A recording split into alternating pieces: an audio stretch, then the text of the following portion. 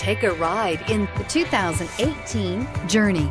Dodge Journey combines the practicality of an SUV with the comfort of a car, all while boasting a style all its own. The Journey's optional third row seat, along with innovative features like a chilled beverage cooler and in-floor storage bins, make it a good and affordable alternative to a traditional minivan. Here are some of this vehicle's great options. Heated side mirrors, traction control, daytime running lights, remote keyless entry, steel wheels, wheel covers, FWD, headlights auto off, mirror memory, cruise control. Your new ride is just a phone call away.